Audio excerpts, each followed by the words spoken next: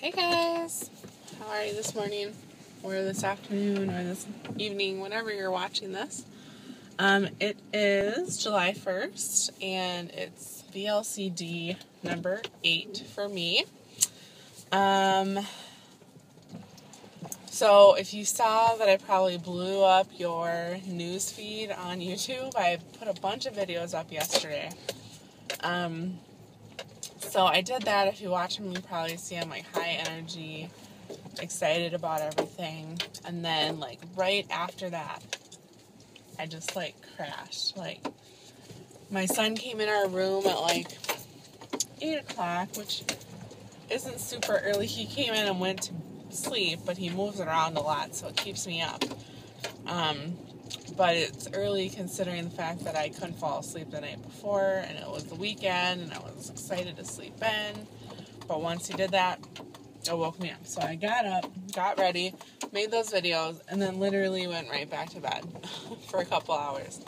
Um, and I felt like I could have slept all day. I was so tired yesterday. So I don't know what the deal is. I am just like tired all the time. And this happened to me my last round too. So I just have to, you know, take short naps when I can or just work through it somehow. So I'm not too worried about it, but I'm just kind of low energy. Um, this morning I was down 1.2. So I am officially 0.1 below my lowest weight um, that I got down to the three days without HCG last round. So it's kind of depressing that it's taken me a week to get here, but I under now that I've been watching vlogs and reading up about like glycogen stores and and different things like that, I kind of understand why, and um, it just takes a while. So I'm not stressing out about it. Um, I'm excited that I'm down to that weight now that I can actually get virgin fat, as you guys call it, or you know, just different fat that I haven't gotten with HCG yet. So, super excited for that. Um, excuse me. I I forgot to do my injection right now. I'm just thinking about it, so I'm gonna go back home and do it. Luckily, I work within two minutes of where I live, five minutes within where I live, so I can turn around and do it.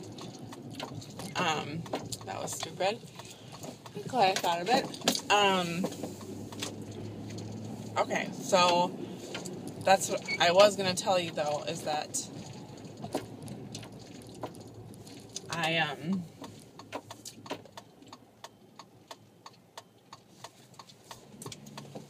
okay now I'm sorry I'm just confusing myself because I have a skip day and I didn't take it because it's on Sundays.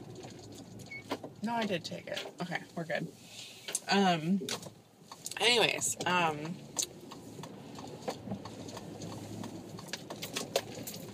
I have about two, I think, two injections left before I need to mix again. And if anyone, I get the 2000, not the 5000. And, um, the vials that I have are 10 milliliters and they're just huge when you're only mixing that amount.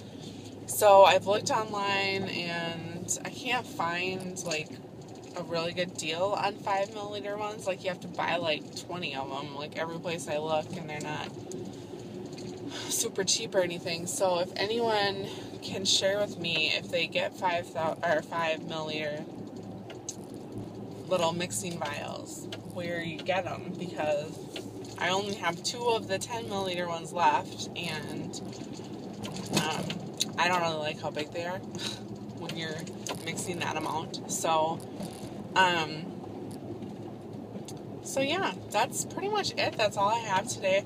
Um, I hope everyone's having a good day.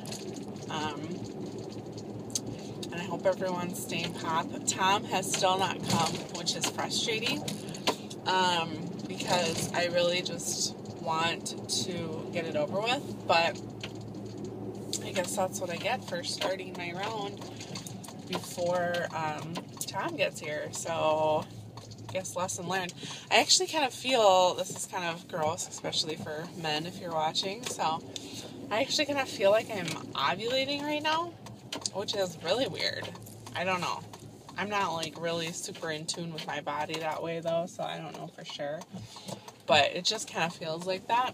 And so maybe I just totally skipped my period. I, that would make sense because I'm like two weeks late and now I'm just ovulating again. But it's just strange. So, anyways, I don't know if that's happened to any of you ladies out there, but if it has, I'd love to hear about it. Um, anyways, you guys have a great day. It looks like it's going to be really nice and sunny here in Minnesota, and I hope that it's nice everywhere else. You guys have a great day and stay pop.